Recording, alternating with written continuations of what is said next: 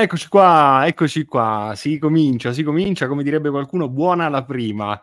Eh, sì, perché questa qua è la prima puntata di un nuovo podcast chiamato Bagnasciuga. Io ovviamente do il benvenuto a tutti, do il benvenuto anche al mio compagno di viaggio, che in questo caso è Perry. Ciao Perry, come stai? Eh, molto bene, sono qua al fresco sul bagnasciuga, pronto per partire in questa cosa che è molto rilassante, molto edificante, come, come quando si, tro- si, si trova su un bagnasciuga si può mh, parlare di argomenti che possono essere anche molto interessanti, molto profondi, eh, ma lo si può fare anche in maniera molto solare, molto scherzosa. Però ti lascio la parola così spieghi a chi ci segue di cosa si tratta. Grazie. Ma allora, guarda, eh, diciamo che essendo la prima puntata è un po' un esperimento, quindi sicuramente prenderà vita e forma durante le prossime puntate, eh, ma tendenzialmente, come avete letto dalla descrizione che messo, abbiamo messo in questi giorni sulle varie piattaforme, eh, è un format che serve, eh, servirebbe in qualche modo per far conoscere aspetti di alcuni personaggi ormai anche molto conosciuti della controinformazione e non che magari non avete mai visto. Eh, quindi fare una chiacchierata in stile, insomma, mh, familiare, stand-up comedy, insomma, qualcosa di leggero, eh, per vedere effettivamente qual è il percorso che ha portato alcune persone a diventare quello che oggi sono.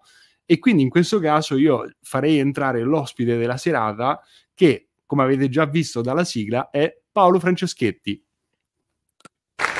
Ciao ragazzi. Ciao Paolo. Ciao Paolo. Che poi, tra l'altro, abbiamo anche un'altra sorpresa stasera perché avevamo detto che c'era una coppia, Luca e Paolo. Quindi io farei entrare anche il secondo ospite, Luca. Ciao Luca. Ciao a tutti, buonasera. Buonasera. Buonasera. Ciao, ciao. Luca è, è, il nostro. Sì, eh, infatti c'è, c'è, c'è un bella, una bella attesa in realtà, vediamo cosa, cosa ne viene fuori. Luca è il nostro eh, musicante, è colui che creerà la colonna sonora della puntata, quindi intanto grazie Luca e ovviamente grazie, no, grazie. a Paolo. Sì, Luca crea, farà una canzone in base all'ospite, quella che, che si sente di, di trasmettere, lo farà a metà della puntata.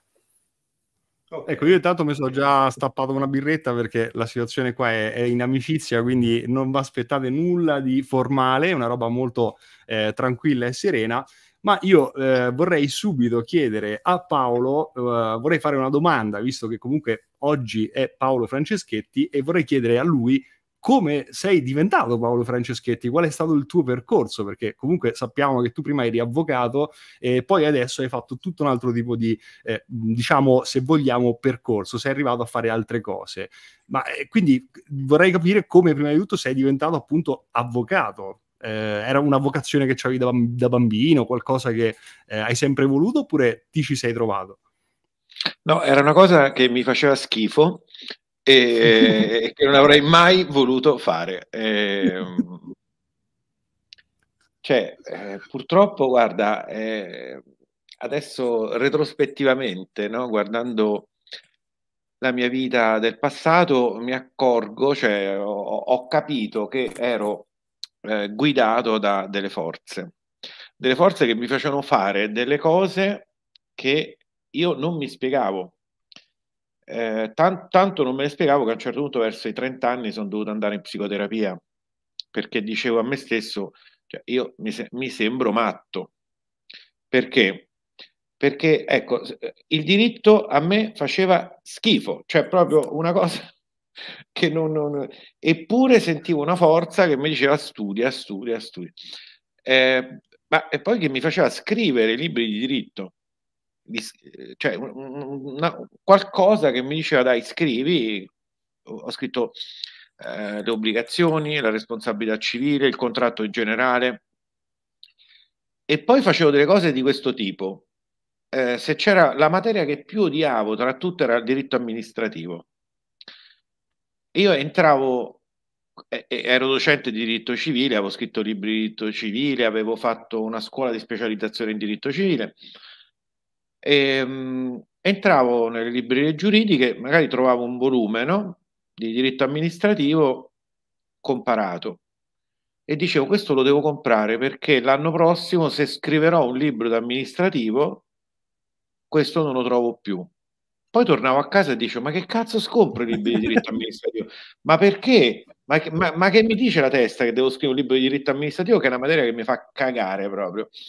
E, mh, poi nel frattempo io in realtà avrei desiderato fare altro, cioè io non, non mi interessava fare l'avvocato, neanche, ma guarda, quando facevo, quando studiavo per uh, uh, la scuola di specializzazione in diritto civile, io facevo anche l'istruttore di bodybuilding e quel lavoro mi piaceva, eh, mi piaceva molto, mi alzavo la mattina contento di andare al lavoro, stavo sul lavoro contento di stare al lavoro. E rendevo anche bene. Mi ricordo che eh, lavoravo in una palestra a Verona e un giorno arrivai sul lavoro e mi dovevano pagare il mese e mi pagarono il doppio di quanto avevamo concordato. E dissi: Ma vi state sbagliando? No, non ci stiamo sbagliando, mi disse la proprietaria della palestra. Semplicemente vogliamo che tu rimani perché re- eh, rendevo bene, era un lavoro che mi piaceva, lo facevo con, eh, con gusto. E, eppure nel frattempo continuavo appunto a fare altro e, quindi, e poi mi sono trovato a scrivere il, libro di diritto amministrativo che peraltro ebbe un successo notevole nel mondo del diritto.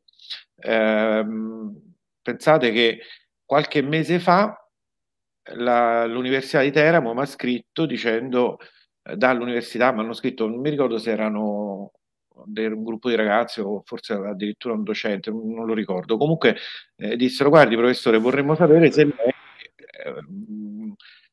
eh, eh, fa la nuova edizione del suo libro perché è il libro più chiaro in assoluto sugli argomenti più difficili di questa materia. Noi ancora studiamo le, le fotocopie del suo libro, però eh, ovviamente poi non è aggiornato, quindi non possiamo più mh, consigliarlo. Perché tu ecco. sei stato anche docente, vero? Sì, sì, sì. Sono stato docente all'università come docente a contratto, eh, però di diritto civile. E, e, comunque insegnavo poi i corsi di magistratura e di avvocatura e insegnavo il diritto amministrativo e il diritto penale. Ho, ho scritto anche un manuale di diritto penale. E, e niente, però erano delle forze che mi facevano fare queste cose e io adesso le riconosco come forze che chiamo entità, spiriti guida, quello che ti pare, perché nella mia testa non avevano logica le cose che facevo. Quindi andai in psicoterapia perché eh, cercavo di capire ma che che, che, perché faccio queste cose strane, assurde. Eh, poi magari mh, tentavo di dare un concorsino minore, sai, di questi eh, so, in un'amministrazione pubblica per eh, trovare un lavoro subito e eh, dovevo studiare un libro di 200 pagine di diritto e non, non riuscivo ad aprire pagina, non riuscivo proprio a studiare niente, mentre però mi digerivo mattoni, migliaia e migliaia, decine di migliaia di pagine di, di tutti i tipi fi, per scrivere quei libri che poi scrivevo e quelle materie che poi insegnavo. Eh, quindi adesso capisco che c'era un disegno dietro e delle forze che appunto mi hanno guidato. Ma sai che poi rivolgo anche la cosa a Perry, sai che è un percorso simile a quello che ho fatto io, perché io ho studiato geometra e lì per lì dicevo ma che cazzo studio geometra che a me proprio non mi piace per niente costruire case, questo e quell'altro, e poi mi ritrovo ad oggi a essere appassionato di strutture architettoniche antiche, quindi in qualche modo è tornato un po' no? quello che avevo studiato per capire tutte le varie eh, diciamo forze che agiscono per reggere in piedi una struttura, perché sap- tutti sanno che esistono strutture architettoniche che insomma sono abbastanza mistiche, tra virgolette, e quindi ecco adesso mi ritorna, quindi un percorso abbastanza simile. Tu Perry invece che, che, che, che hai combinato nella tua vita? Qual è stato il tuo percorso?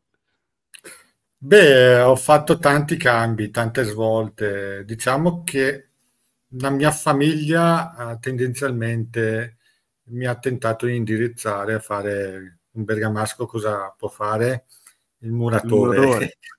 certo. ma poi quando vuoi far diventare quadrato uno che è tondo eh, non ce la fai come dice Franceschetti probabilmente sono arrivate tutta una serie di forze che mi hanno sballottato di qua e di là. Ovviamente io ho tentato la strada del disegnatore di fumetti, poi ho aperto un negozio, ne ho fatte tantissime, quindi evito, ti tolgo tutti i passaggi per poi andare a finire ancora quello di cui da bambino ricercavo, ero interessato, sono andato a finire nonostante tutto a fare quello che, che appassionava il mio spirito, diciamo così. Nonostante tutte le devianze, deviature, gli ostacoli, sono andato a finire un po' come il mare che il fiume alla fine sfocia sempre nel mare, no? Certo, quindi possiamo dire insomma che eh, quelli che in qualche modo vengono spinti a fare qualcosa che non gli piace, poi piano piano tirano fuori il proprio io in un certo senso e a volte poi ripescano anche dal passato delle cose che hanno studiato e le comprendono magari 30 anni dopo. È, è successo un po' così, Paolo, no? Anche a te, appunto. No, eh, allora, più che comprendere 30 anni dopo, a me è successo che eh, ho, ho, fatto, quindi all'inizio insegnavo, poi eh, ho aperto lo studio d'avvocato quando mi fu offerto di diventare legale della SAI Assicurazioni. Lì era la cosiddetta offerta che non si può rifiutare perché andavo a guadagnare dei soldi e quindi ho detto vabbè, no, non posso rifiutare. Quindi mi sono iscritto all'albo, ho cominciato a, a lavorare come legale e poi però non mi sono occupato di assicurazioni perché tempo, poco tempo, e ho cominciato a um, occuparmi di um, massoneria, sette segrete, eccetera. E da lì è partito tutto praticamente quello che, che, che sapete, insomma, cioè, venne nel mio studio eh, una ragazza all'epoca, oggi donna, Solange Manfredi, che eh, veniva da una famiglia torinese eh, molto altolocata, il padre era un avvocato torinese che era stato ucciso qualche anno prima. E lei cercava da una parte la verità sulla morte di suo padre e dall'altro eh, cercava anche di recuperare 240 miliardi di lire in Svizzera che gli avevano sottratto alla sua morte. Le banche svizzere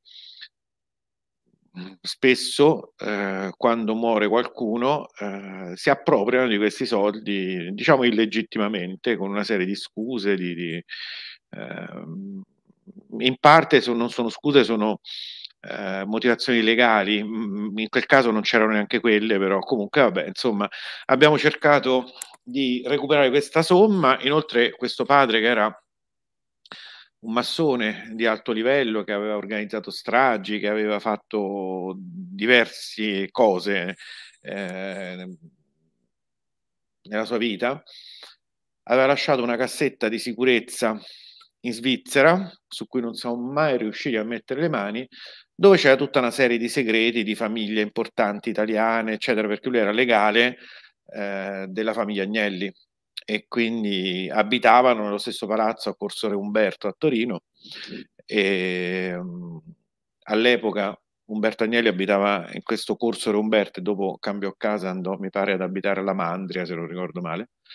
E um, vabbè loro abitavano sotto di lui e erano molto legati quindi siamo, abbiamo cercato di, di, di mettere mani su queste cose non ci siamo riusciti non siamo riusciti a concludere quasi nulla, in compenso abbiamo scoperto insieme tutta una serie di segreti sulla storia d'Italia, sulle principali stragi, sui delitti del mostro di Firenze. Poi eh, siamo stati coinvolti legalmente proprio in alcune vicende, quindi sono diventato legale delle bestie di Satana, eh, sono stato coinvolto nella vicenda del mostro di Firenze, sono andato a processo con uno di quelli che erano i mostri di Firenze, uno dei mostri che era Mario Spezzi e vabbè, da lì ho scoperto tutto il mondo dell'occulto, il mondo della magia. E, però ecco, tutto senza averlo cercato, senza, io non avevo neanche la passione per i misteri. Eh, io certo. ero uno che non leggeva neanche i gialli perché, mm, perché ah, dopo qualche pagina io mi perdevo i nomi perché non me li ricordavo più, quindi non avevo neanche la passione per i misteri. E mi sono trovato invece a essere legale in queste vicende, occuparmi di queste vicende. Da qui poi mh, ho studiato sempre di più l'esoterismo e devo dire che adesso sono finito a fare la- l'astrologo, eh, a fare corsi di cartomanzia e a fare queste cose qui per una serie di casualità, però anche qui mh, non volute. Qui diciamo c'è più una volontà mia, nel senso che queste cose mi piacciono. Quindi posso dire che la volontà c'era, certamente non c'è non, non, c'è stato un momento in cui ho detto vabbè guarda adesso faccio l'astrologo e qui è stato frutto di eh, anche qui di una serie di incontri, di casualità, di, di circostanze particolari proprio magiche insomma eh, stavo all'epoca con uh, una relazione con una strega e, e lei è con la, è la, sua magia che mi ha eh, fatto con, le, con, con la sua energia che mi ha fatto approdare in modo assolutamente inaspettato al mondo dell'astrologia e dei tarocchi. Insomma. Ma durante il tuo percorso da avvocato, a parte che già mi hai detto un paio di ca- casi eh, abbastanza insomma, forti e sicuramente particolari, ma se c- dovessi dire il, il, caso più particolare, più strano di cui ti sei occupa- occupato, magari anche quello più eh, comico se vuoi, non so se, c- se c'è stato ovviamente, eh, qual è per te?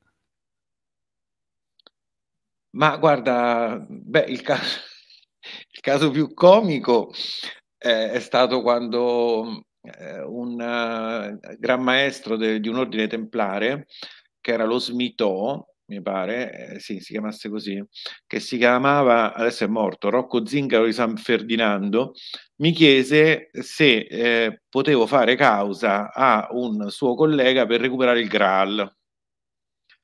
e, ecco, questo obiettivamente fu la cosa più divertente. Io dissi come il Graal, dico ma stiamo scherzando, cioè e, e, lui mi fece vedere le foto, che tra l'altro sono pubblicate anche in rete, insomma, non, non, è che sono segrete, di questo Graal che lui riteneva essere la Coppa del Graal, era una, una coppetta così, di queste dimensioni, e lui aveva fatto periziare e, e, pare fosse appunto di 2000 anni fa, e, e però un, un, gran maestro di un ordine templare gliel'aveva chiesto in prestito per una cerimonia e poi non gliel'aveva ridata.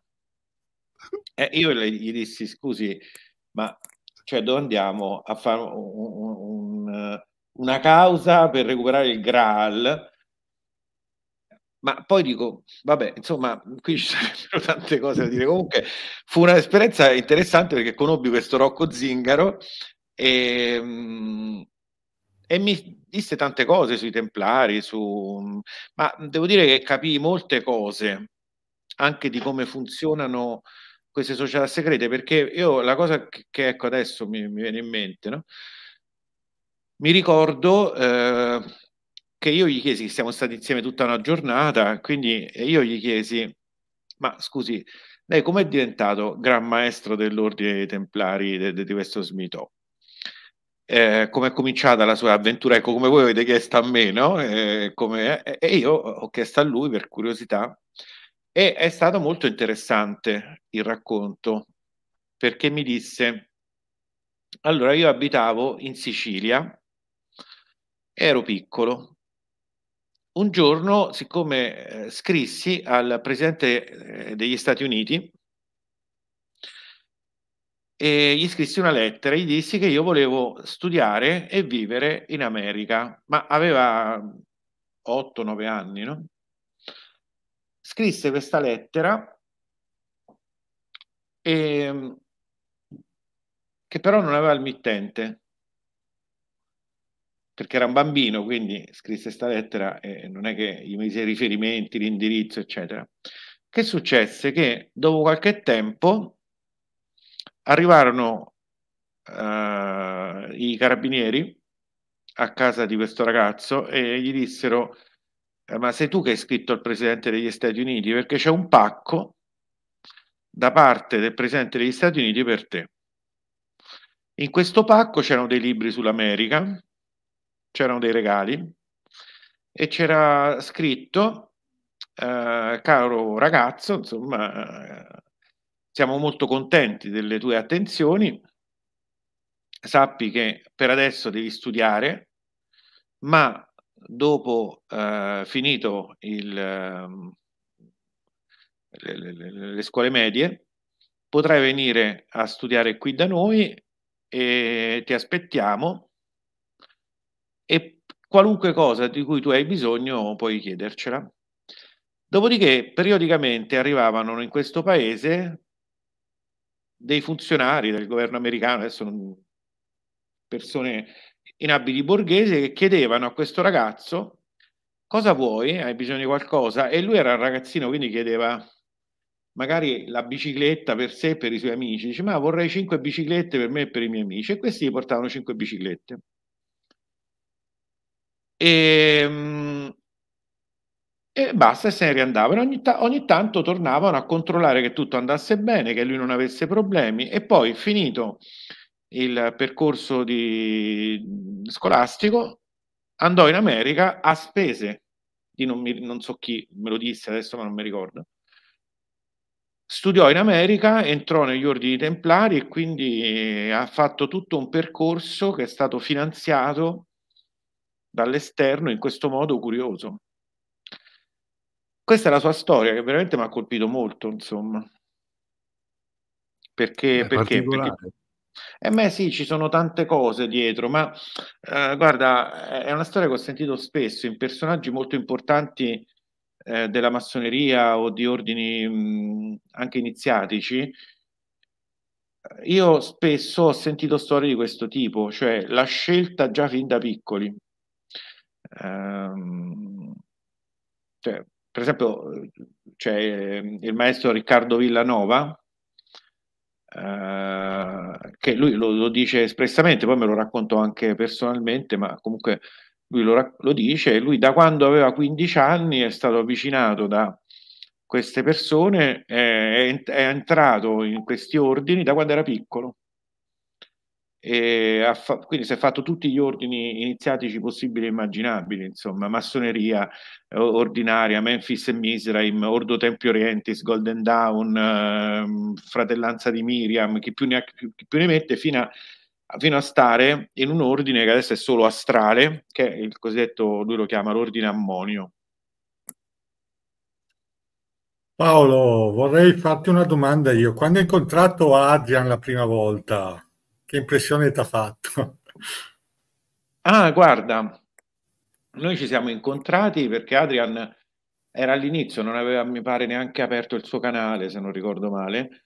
Sì, e, roba simile disse che mi voleva incontrare io vado molto a istinto quando qualcuno mi e tanta gente mi vorrebbe incontrare per vari motivi vado un po' a istinto perché spesso non ho neanche tempo so, per incontrare tutte le persone che vorrei o potrei e lui con lui ci siamo incontrati abbiamo fatto un pranzo insieme e mi disse che stava facendo un giro eh, per l'Italia insieme a un suo amico in, camper per incontrare vari personaggi e per cercare di mettere insieme alcuni personaggi della controinformazione così per uh, fare quello che poi sta facendo. E io gli ho detto va bene, sono a disposizione, quando cominci ci sono, insomma, ecco, e quindi... Um...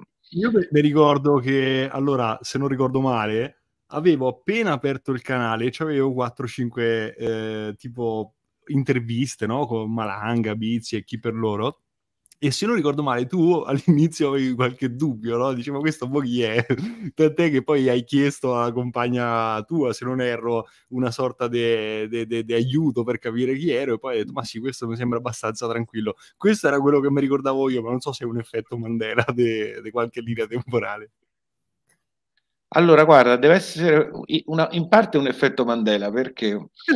perché eh, che chiedo eh, che avessi chiesto a Stefania, no, è ovvio che chiedo sempre a lei, alle persone attorno a me che impressione gli fanno le persone che conosco, però eh, nel caso di Stefania è sempre un po' diffidente, no? Quindi e, e, spesso lei è diffidente, io no, quindi, non, quindi non, non, è un parere che tengo in considerazione più di tanto, o meglio, lo tengo in considerazione perché quando lei dice un no c'è un motivo eh, che non è mai casuale, però oh, normalmente eh, per lei l'80% sono no e poi il 20% sono sì. non mi ricordo che parere dette di te. Poi tra l'altro mi pare che noi ci siamo visti mm. e, eh, forse ci siamo visti e lei non c'era. No, lei non c'era e quindi, boh, però può darsi che mi ricordo male io. Comunque tieni presente, Adrian, che chiedo quasi sempre alle persone attorno a me che ne pensano, insomma, quindi vabbè, ci sta pure. Ehm, però tanto poi mi faccio un'idea mia, al di là di quello che certo, mi dicono, chiaro. insomma, eh, io invece mi ricordo benissimo che eravamo al lago vicino a casa, a casa, tua e ci siamo mangiati tu una bistecca e io un piatto di pasta, ancora mi ricordo, di penne e abbiamo fatto una chiacchierata che ho detto cavolo Paolo è veramente così come, come sembra no? in, in video perché il problema è che c'è sempre la sorpresa dietro, no? quando conosci qualcuno poi dopo è molto simile eh, a quello che non ti aspettavi piuttosto che a quello che ti aspettavi. Invece con te mi sono trovato subito Invece... bene ed è nata subito questa amicizia. È veramente Adesso... lui. È veramente Io ribalto lui. la cosa a Perry ovviamente. Che effetto ti ha fatto Pierri quando l'hai visto? Io? Sì. Che fe... Ah, e qui bisogna risalire indietro nel tempo. Che effetto mi ha fatto? Allora, intanto dovrei ricordarmi quando ci siamo visti la prima volta.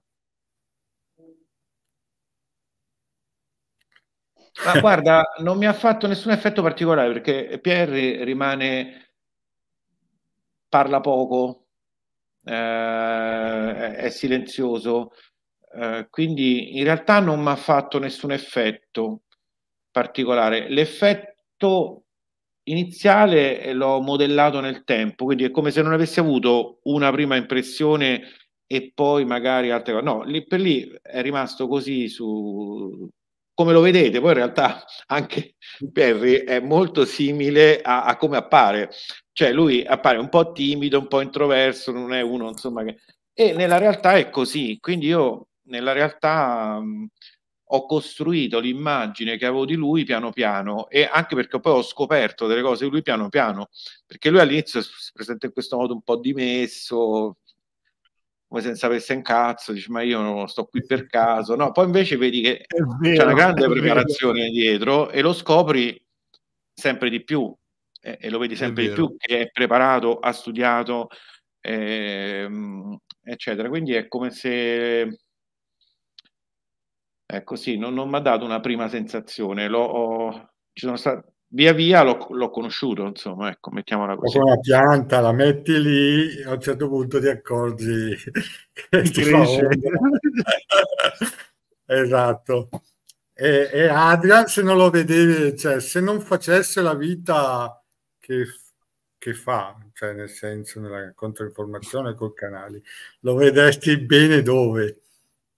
in pizzeria fa il pizzaiolo. Appunto, pizzeria. Pizza. Ma guarda, io no, no, Adrian lo vedo bene a fare quello che fa. Ehm, perché poi eh, cioè dietro a, al mondo della controinformazione, della spiritualità, eccetera, mh, mm, oltre alla persona eh, ci deve essere qualcosa dietro, cioè qualche forza, tra virgolette, che aiuta la persona. E io de- in lui ho visto comunque questo qualcosa che ci poteva essere, che poteva fare la differenza tra lui e altri. Infatti, lui, lui per esempio, ha fatto subito dei numeri notevoli. Mm, ha cominciato così, ma poi senza sapere niente, proprio nulla di controinformazione. Di que- mm, però io, io, ho visto una, una possibilità, una potenzialità data da queste forze che, che stanno dietro che, mm, che, c'era, poi magari uno si può anche sbagliare, però invece no, non, non mi sono sbagliato, insomma. Beh, grazie. Grazie. Guarda, io direi Perry che siamo arrivati a 30 minuti, farei fare lo stacchetto musicale, così almeno sentiamo anche l'arte di Luca e, e poi riprendiamo con le domande. Dai, lo... se vuoi anche dirci di cosa canti. Sì, ma sai, eh, avevo pensato di fare la canzone eh, Io Superiore, perché ho sentito un'intervista bella che hai fatto tu, Pierri, a Paolo qualche giorno fa, forse settimana scorsa, eh, dove lui parlava sì. delle, delle, religioni. Mi è piaciuta molto quell'intervista lì. E, mh, tra l'altro diceva che aveva praticato il buddismo di Nichiren per un po'? E, ehm, siccome l'ho praticato sì. anch'io quel buddismo per un po' di anni senza mai eh, diventare membro poi della Soga Gakkai. Non sono mai, ho scelto di non diventare membro, però comunque mh, sono rimasto legato alla filosofia di quel tipo di, di, quel tipo di buddismo. E mi è piaciuto molto il, quell'intervista, no? la, la, la, l'aspetto spirituale che, che comunque eh, Paolo ha, ha, trasmesso con quell'intervista. No? E quindi pensavo di fare eh, questa canzone che si intitola Io superiore.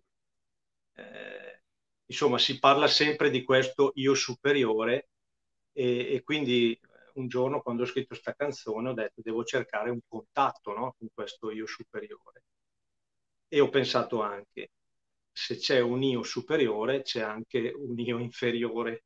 E ho detto, questa cosa qua è, è, diventata un po' un, un gioco di parole no? in questa canzone. E quindi ho immaginato di, di dover salire dei gradini dal basso verso l'alto e di cercare un contatto no? con questo io superiore, con questa parte spirituale eh, che abbiamo, che in realtà poi è sopra, sotto, di fianco, comunque dentro di noi, no? questa parte spirituale. E, mh, mm, mi sono accorto poi alla fine che eh, realizziamo questo contatto, a meno io realizzo questo contatto quando eh, faccio eh, le cose che mi piacciono, insomma, quando riesco a realizzare una passione. No? E in quel momento lì sento di aver eh, raggiunto questo contatto con questa cosiddetta parte superiore di me. E quindi questa canzone parte appunto, se esiste un Dio mio, se esiste un io, vabbè, Dio mio ci può stare. Se esiste un io mio superiore, spero che un giorno scenda e mi venga a trovare. La canzone inizia così.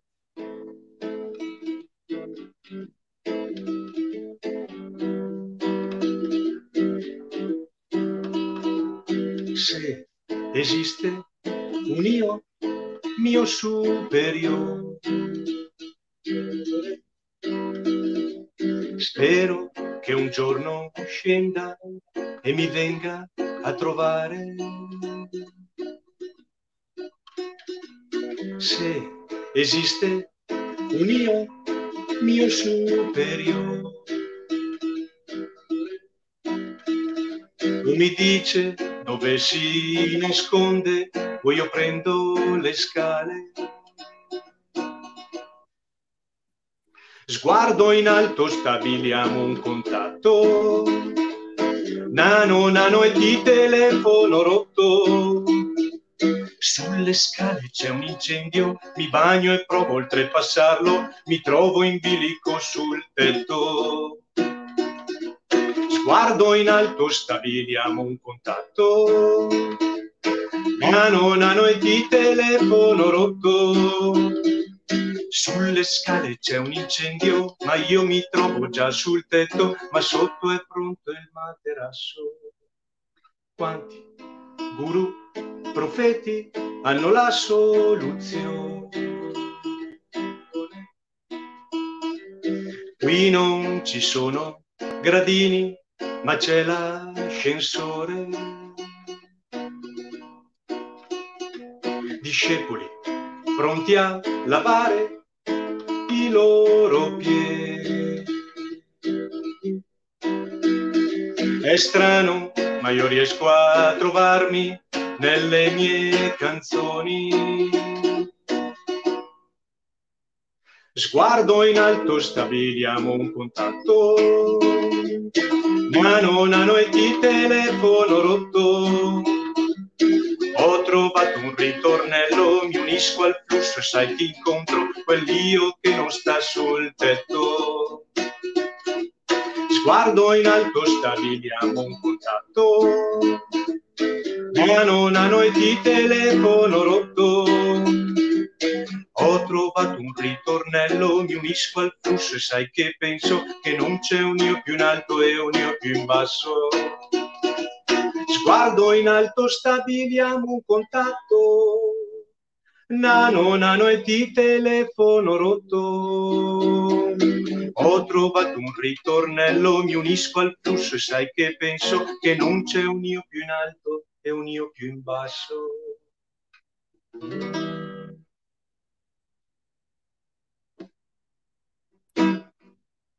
Bello. Molto bene.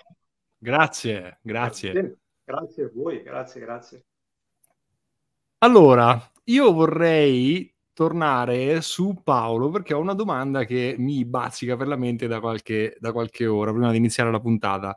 Eh, durante questo percorso no, di YouTube, eh, una delle cose che mi è successa quasi più costantemente ogni giorno è trovare ovviamente gli haters, gli odiatori e poi anche tra il pubblico, ma non solo, eh, anche tra i, i, collaboratori, tra virgolette, tra eh, i colleghi. E io chiedo no, a te, Paolo, mh, qual è nella tua carriera, nella tua vita, il villain, come si direbbe in fumettismo, numero uno? Chi è colui che ti ha messo sempre di più i bastoni tra le ruote, che dicevo, oh, quello proprio non mi sta sul cazzo, non lo posso proprio sentire, se posso chiedertelo ovviamente. Ma eh, oddio, io ci dovrei pensare un po'. Però no, non credo che ci sia stata una persona che mi ha messo il bastone tra le ruote. Ce ne sono state tante. Ehm, di odiatori ne ho avuti tanti, però poi talvolta mi si sono rivoltate contro delle persone con cui magari avevo lavorato e collaborato raramente, eh, devo dire, non, um, questo è stato un fenomeno più raro, mm, diciamo così. Mm, è capitato giusto una volta co- co- con uno uh, di cui ho seguito i corsi per anni, ma adesso senza fare il nome, insomma, che a un certo punto adesso va a dire in giro che io sono un satanista. Non ho capito perché questo, diciamo, inversione di, di cose. Boh, vabbè da che appunto avevo fatto i suoi corsi, eravamo anche stabilito un rapporto di collaborazione, d'amicizia, abbiamo fatto anche delle cose insieme. Adesso, vabbè, se ne esce fuori che ai suoi corsi pubblicamente dice che sono un satanista. Però, tranne questo caso, no, non, non mi pare. Che, e poi questo non è un hater, cioè, cioè non è un odiatore, cioè eh, semplicemente dice queste cose di me non, non lo posso neanche considerare un, un odiatore. Invece di, di, persone che comunque mi rompono il cazzo, quelle ce ne sono tante, cioè ogni trasmissione c'è chi ti insulta, vabbè, quello è proprio che, che, ti ascoltano tutta la trasmissione, quindi ti odiano, ma ascoltano tutta la trasmissione e tutte le trasmissioni anche precedenti per criticarti e romperti i coglioni. Cioè, guarda, veramente io penso, ho sempre detto, ma eh, ma una tristezza, no? Una cosa del genere, cioè come se io mi dessi ascoltare tutte le settimane Guido Vespa che non sopporto per poi doverlo anche criticare, ma che, che senso ha la vita, una vita così? Cioè, non, perché uno deve perdere tempo con persone che disprezza? Che, ce ne sono talmente tante di persone che cioè, perché forse fondo in fondo è stima, no? E vedono magari qualcosa alla quale non sono riusciti ad arrivare e quindi attraverso l'odio, eh, diciamo, manifestano stima. Potrebbe anche essere, no? Diciamo che l'effetto specchio, quello è ovvio. Eh, ciò che critichiamo in realtà ci rispecchia, no? Altrimenti non ci perderemo proprio tempo a però questa cosa non è chiaramente chiara a loro, non, non, conoscono questa legge dello specchio, se no si farebbero due domande. Insomma, sì, sì, ma questo è evidentissimo, insomma, lo do per scontato. Eh, è così. Allora, volevo far vedere una foto, questa qua, che è una foto di una moto Me l'ho messa perché, a parte che Adrian ci sei, è sparito. Eh, l'abbiamo messa perché in realtà l'ha messa insieme a, ad Adrian, perché sappiamo che hai una passione che è la, la moto. Volevamo chiederti che tipo di, di moto avevi e se ci vuoi raccontare se c'era ancora questa passione. Guarda, la passione per la moto ce l'ho sempre avuta, e ce l'ho ancora, però sono anni che non vado più in moto perché sono anni che con le esperienze che vivo mi sono un po' squilibrato, cioè non ho più il radicamento alla terra. Si potrebbe dire che il primo chakra mi è partito e quindi non riesco più a um, godere della moto come una volta da qualche anno. Ho un Harley Davidson, c'era un periodo che ne ho avute due. Ok. E, e l'Harley, insomma, ma non le Harley, in realtà tutte le custom mi piacciono molto. Tant'è vero che ho messo su un qualche anno fa avevo aperto anche un blog di moto che c'è ancora, eh, solo che adesso non lo curo più da qualche anno, eh, che si intitola Custom Harley Davidson e dintorni. E cioè ci mettevo sia le recensioni delle varie custom, ehm, facevo un collage delle recensioni prese da, dai vari siti di moto, e, delle custom anche del passato, ci mettevo storie di moto e così insomma era sì, una passione.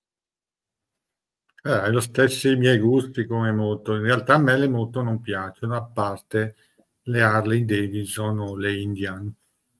Perché ah, concepisco, concepisco, le moto per andare in giro tranquilli, eh, non per correre quel genere di moto assolutamente non, no, un gusto personale. Poi uh, Adrian mi ha girato quest'altra foto. Eh, ok. Cosa volevi chiedere, Adrian? Ma chi ti ha vestito? No, volevo, volevo capire chi, chi l'aveva vestito. ma no, ma questo è un fotomontaggio, no? Ah, okay. no, è un fotomontaggio di, un, di, di, um, una mia amica che eh, fece questo fotomontaggio e così me ne aveva fatti tanti perché c'era la passione per i fotomontaggi. Dai. Ho visto che c'era Luca con la mano alzata prima, giusto? Eccolo. Eh, microfono, Luca? Eccolo, ok. No, prima quando parlavate, parlavate delle moto, perché lui, Paolo, ha detto che è una, un harleyista e Pierri ha messo l'immagine di una moto Guzzi. Perché io ho una moto Guzzi, dopo io amo anche le Harley, però so che gli harleyisti non amano molto i guzzisti. No, no vabbè, no. Paolo, che...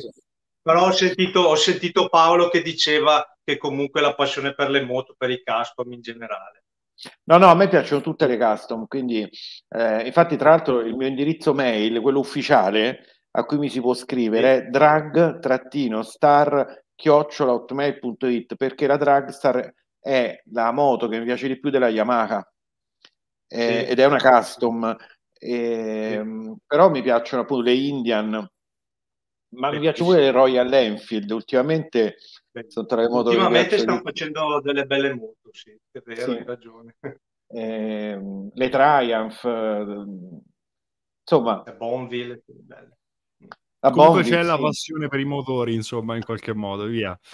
E, ma oltre la passione per i motori, io eh, ti ho conosciuto un po' in privato e eh, comunque so che eh, come me purtroppo ti piace fumare, purtroppo per fortuna.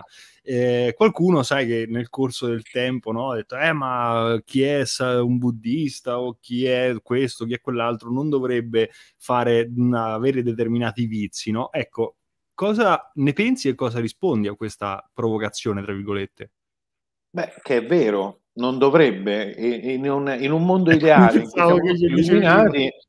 eh, dovremmo essere perfetti e quindi non fumare, mangiare sano, eh, essere equilibrati, eh, non incazzarci. Eh, dovre- però eh, non, non, non, in un mondo ideale, quando abbiamo raggiunto tutti l'illuminazione, eh, io non l'ho ancora raggiunta, quindi insomma, e quindi fumo, ma, ma, poi non faccio solo questo, cioè ce n'ho altre. Insomma, di... Paolo, se uno non capisce le barzellette, si può ritenere voluto? Beh, il senso dell'umorismo è una delle caratteristiche delle persone intelligenti.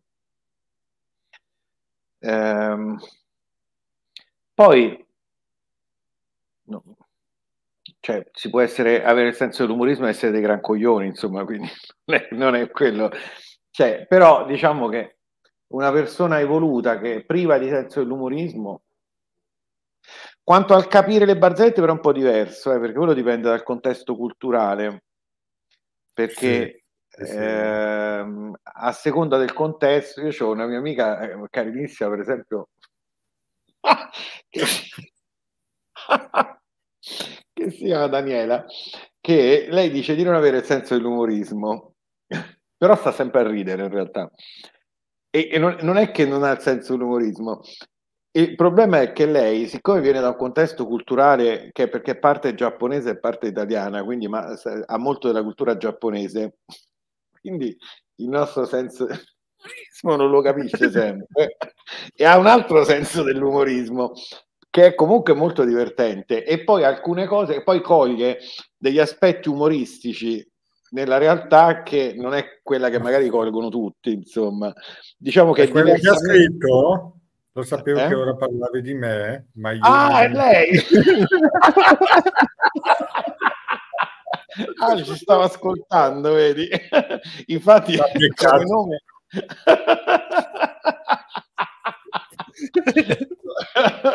mi ha beccato che ho parlato male di lei. Eh, eh, infatti, come nome c'ha Mayumi Murano, che è il nome, eh, che è il nome giapponese, no? Però si chiama Daniela.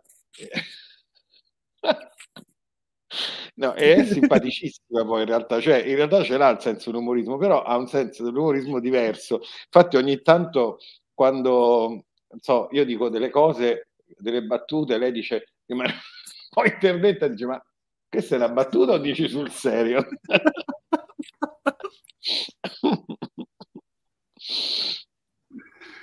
Eh, vabbè, capisco. In realtà, guarda, io adesso ho una compagna che praticamente studia giapponese e mi sta cercando di far vedere eh, gli anime in lingua giapponese, no? E, è una roba eh, completamente diversa no? da come eh, concepiamo noi anche il parlato, le sensazioni. Loro quando esprimono le sensazioni eh, fanno proprio oh, ah, eh, così, no? E, e, a volte fa veramente ridere. Da lì ho compreso che ci fosse un altro tipo di ehm, di anche di, di, di, come posso dire, eh, di umorismo, appunto, come hai detto appena te. Quindi purtroppo non conosco bene la, la cultura orientale, però mh, mi sembra veramente a volte abbastanza eh, complementare alla nostra, se non erro. Beh, non capisco neanche io le battute in giapponese se, se non me li traduci. sembra giusto. Comunque... Senti, vai, vai, vai. Vai Perry. Comunque sì, eh, diciamo che molte cult- mh, anche nella spiritualità c'è questa cosa della, della tipo c'è lo yoga della risata, Osho faceva mh, durante i suoi satsang intramezzava con delle battute, c'è, c'è anche per esempio anche Ivano parlava quanto era importante ridere, quindi eh, eh, innalzare le frequenze attraverso la risata e la comicità, secondo me mh, aiuta molto ad, uh, a spiritualizzare, anche perché nella risata c'è una cosa. Non dire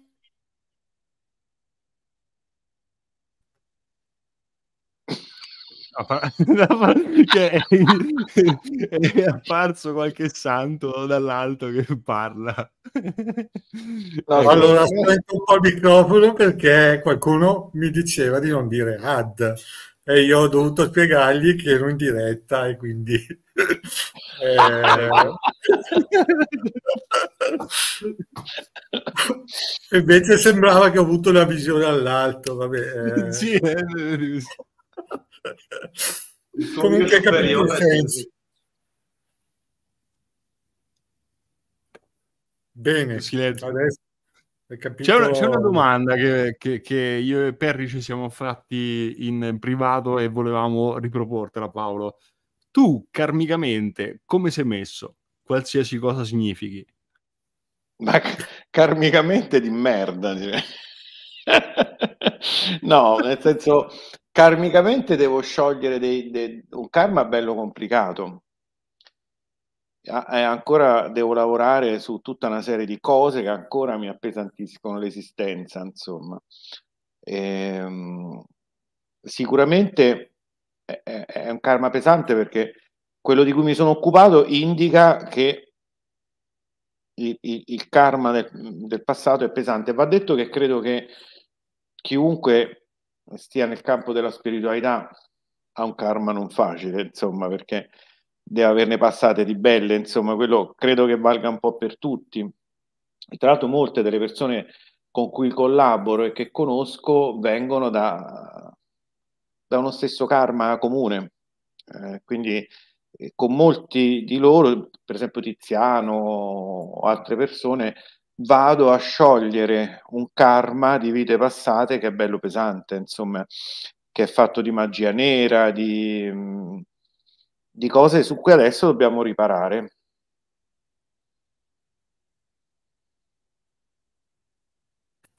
Allora Paolo, mm, tu le conosci le barzellette? Come sei messo con le barzellette? no, io non che Terry è da oggi che mi dice bisogna chiedere a Paolo una, fra... una barzelletta. Una barzelletta evolutiva. Ma guarda, è che io me le scordo, cioè eh, mi piacciono molto le barzellette, anzi, sapete nei Reels, eh, quei video brevi, no? Che spesso mi vado a guardare barzellette, insomma, però ehm, un po' me le scordo, quindi adesso se mi dite racconta una barzelletta non, cioè, non saprei che, che raccontare, insomma. Ecco. Ok, per quanto riguarda invece eh, il concetto delle visioni, no? Molte persone hanno delle visioni. Tu hai avuto una, una vita magica, se vogliamo, no? Sempre a stretto contatto con la magia. E hai avuto mai proprio delle visioni, anche lì, qualsiasi cosa significhi? delle visioni vere e proprie, eh, beh sì, sì, delle volte ho, eh, ho avuto o in sogno o anche nel, um, nella realtà delle visioni di cose che poi sarebbero capitate, oppure delle visioni che erano messaggi da mandare a qualcuno.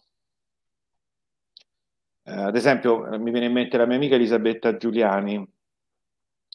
Con lei, che adesso facciamo una trasmissione che si chiama Arcano 6, no? Eh, dall'Arcano 6 dei Tarocchi, dove parliamo di eh, relazioni sentimentali. Perché? Perché ormai la conosco da qualche anno e il nostro legame, noi non ci siamo mai incontrati nella realtà fisicamente, però il nostro rapporto è fatto da uh, o visioni che abbiamo sull'altro e che poi comunichiamo, oppure sogni o sincronicità. Quindi, uh, per esempio, mi ricordo una volta, era appena morto il padre, e allora io le dissi, guarda Elisabetta, voglio fare una, una lettura di registri akashici per vedere se tuo padre ha qualche messaggio da mandarmi. Allora ho fatto questa seduta e ho visualizzato il padre che mi prendeva in giro e che non mi rispondeva. Io quindi ho detto non mi sta riuscendo questa seduta, ho pensato. E poi mi sono addormentato. Nel sogno ho sognato che c'era Elisabetta che veniva portata su un'altalena c'era un sole praticamente da cui scendevano delle braccia del colore dell'arcobaleno e che trasportavano Elisabetta. Quindi quando mi sono alzato ho detto, ma però il padre nella, nella visione dei registri akashici mi ha preso in giro e non mi rispondeva e si burlava di me. Poi l'altalena non so che significa, boh, forse non gli dico niente. Poi ho detto, vabbè, no, glielo dico. Ho detto, guarda Elisabetta, la sessione non è andata molto bene, non ho ricevuto nessun messaggio e io ho raccontato. E lei mi ha detto: No, Paolo, in realtà quello che tu hai eh, sognato e visto era mio padre. Mio padre era un burlone, si scherzava sempre, si burlava di tutti e quando ero piccola mi costruì una, un'altalena con dei materiali improvvisati ed era tutta colorata, quindi ecco il colore dell'arcobaleno. Ecco perché scendeva dal sole, che è l'archetipo del padre comunque, no? E, quindi hai visto, effettivamente quello che era mio padre. E una delle cose che mi è rimasta più impressa è questa altalena costruita con uh, tutti i materiali improvvisati contro il volere di mia mamma e che lui l'aveva fatto un po' a Marachella diciamo. E, ehm, poi prevalentemente io ho visioni delle volte o sogni di uh, diciamo de, de, delle relazioni dei rapporti che poi intraprenderò quindi quando una persona nella mia vita è importante, spesso lo, lo sento prima o lo vedo prima. Ehm... Quindi, per esempio, la prima volta che ho conosciuto Stefania, che mi aveva scritto una mail, ma ormai sono più di 15 anni, mi scrisse una mail. Io, quando ho letto la mail, ho detto: Ok, questa persona entrerà nella mia vita siccome aveva 20 anni meno di me, io ce n'avevo 40 all'epoca, dissi Madonna, non, non avrei voluto una persona di 20 anni di meno e l'ha visualizzata anche fisicamente. Quindi ho... E poi è andata come, come era appunto nel, nel, nella mia visione, diciamo. E infatti mi ricordo che quando ci parlai la prima volta dissi guarda tu sei alta poco più di 1,50, c'hai gli occhiali, eh, sei cicciottella, l'avevo già vista però non mi capita spesso, mi capita solo quando una persona è importante, ha un ruolo importante nella mia vita. Um... Io invece ho fatto una marea di visioni, ho avuto una marea di visioni pornografiche, ma davvero, eh, nel senso che ho immaginato prima di far sesso con qualche donna, eh, la donna con cui facevo sesso e mh, mm, magari dettagli fisici del volto non erano proprio quelli, ma l'aspetto generico era quello. E spesso mi succede anche nei sogni. Chissà che, che mente depravata, insomma, che si racchiude dentro di me. Vabbè, no, non è depravata, è, è, è quell'aspetto che poi la sessualità è particolarmente importante nella nostra vita, anche se poi magari facciamo finta che non lo sia, oppure Ehm, e quindi eh, è, un, è, un, tipo di visione non diversa da quello che ho io, insomma, cioè non, non è che perché la tua è più pornografica, è, è, è, diversa o meno, no, è comunque una visione importante. Tra l'altro il sesso proprio dal punto di vista energetico ha un'importanza tale che la maggior parte, per la maggior parte delle persone è sconosciuta questa importanza perché eh, si fa sesso senza comprensione delle dinamiche che avvengono, energetiche, invece è fondamentale in realtà. Eh sì. Perry, l'ultima domanda, la domanda delle domande, vai, falla tu. Allora, eh, alcune persone mh, dicono che, che ci sono persone che hanno l'anima, non anima, eccetera, eccetera. E tra ridere e scherzare, Adrian mi aveva detto, suggerito di farti la domanda se tu l'anima pensi di avercela. Mi suona un po' da scaricabarile questa cosa, eh? senso, eh, perché lui mi ha detto che, però sì, eh, sì, sì. effettivamente è vero, è vero, è vero. Ma secondo me bisogna intenderci su cosa significa, che cosa si intende per anima. E quindi l'80% delle persone non hanno l'anima, dice qualcuno. Che si intende per anima? Non, non boh. In realtà ci sono, secondo altre tradizioni, tutti hanno l'anima, perché eh. è quella parte immortale dell'essere umano. Boh, non... Cioè, penso di averla come tutti, insomma. Okay. E a livello evolutivo questa trasmissione ti ha dato qualcosa o...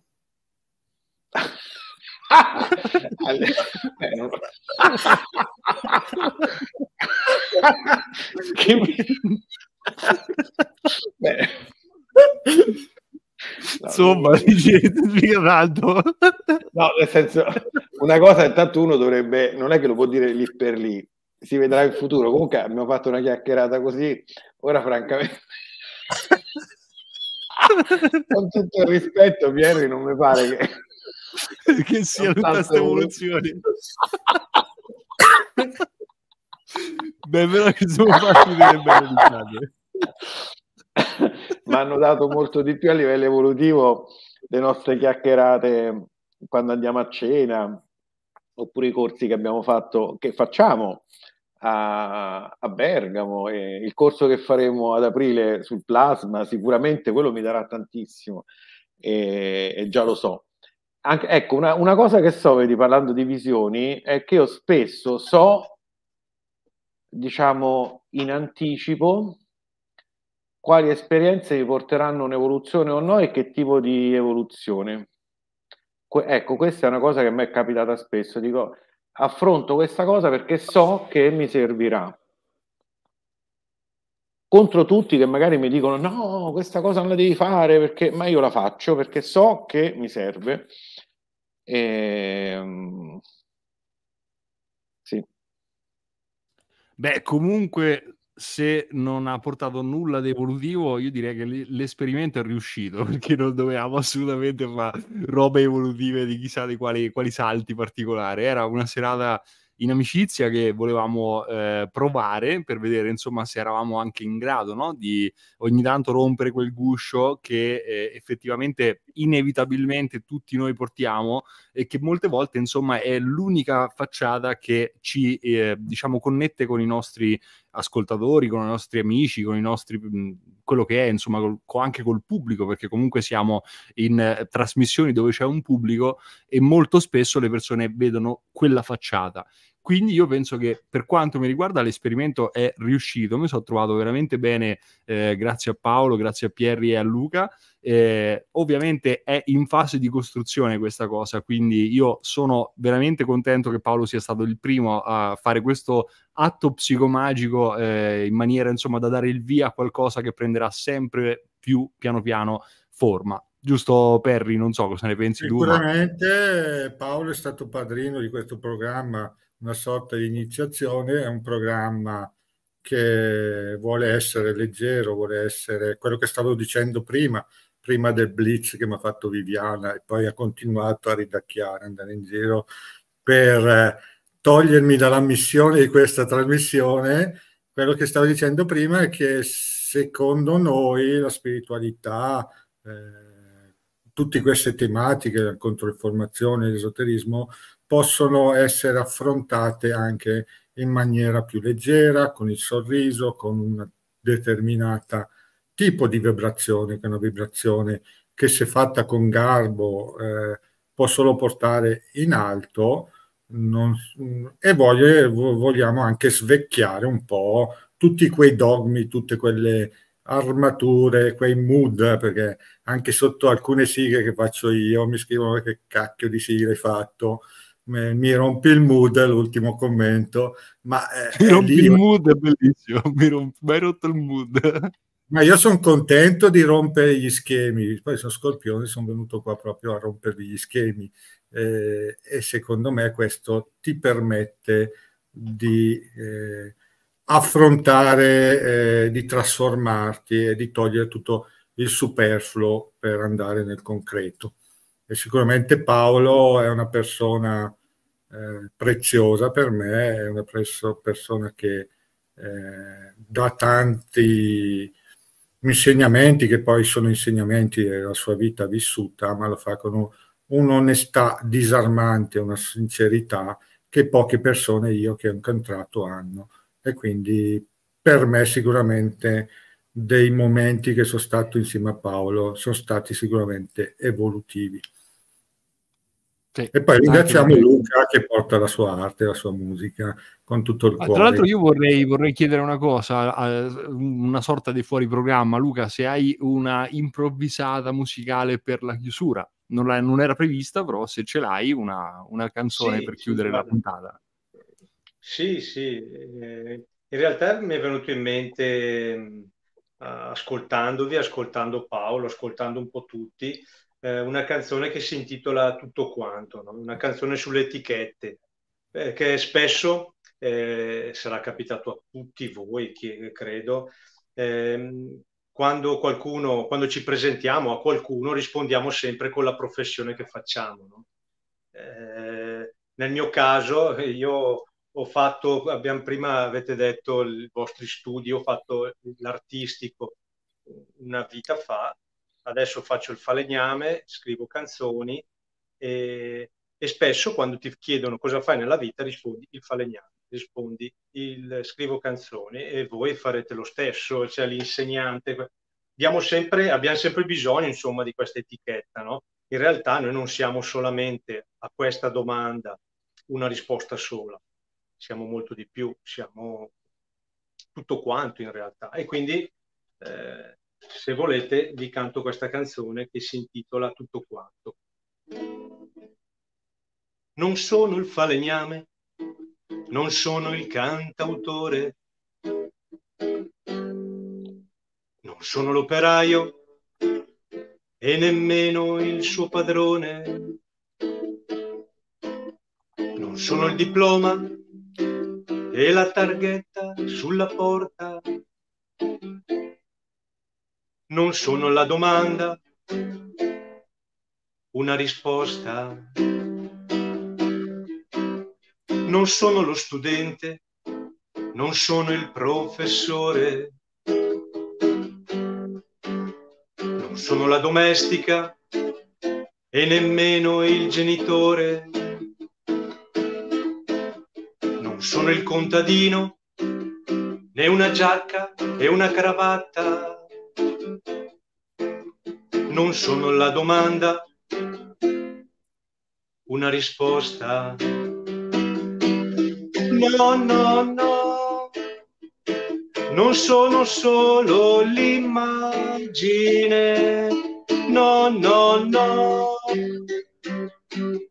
che tu vedi di me.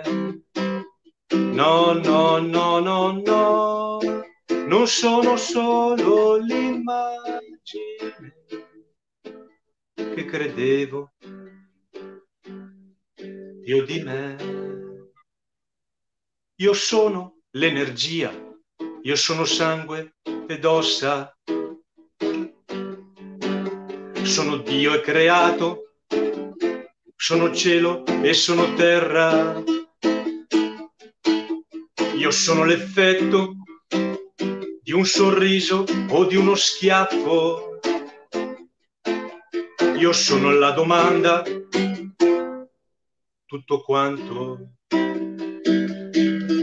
No, no, no, non sono solo l'immagine. No, no, no,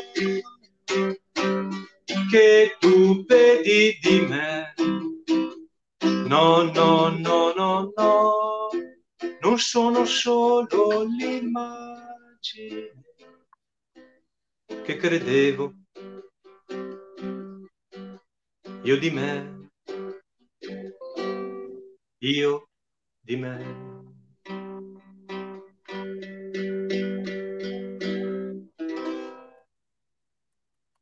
Bellissima. Grazie Luca. Grazie, grazie Adriano, grazie.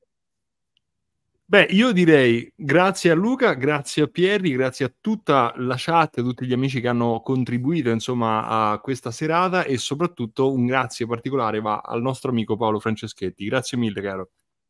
Grazie a voi ragazzi. Ciao. Ciao.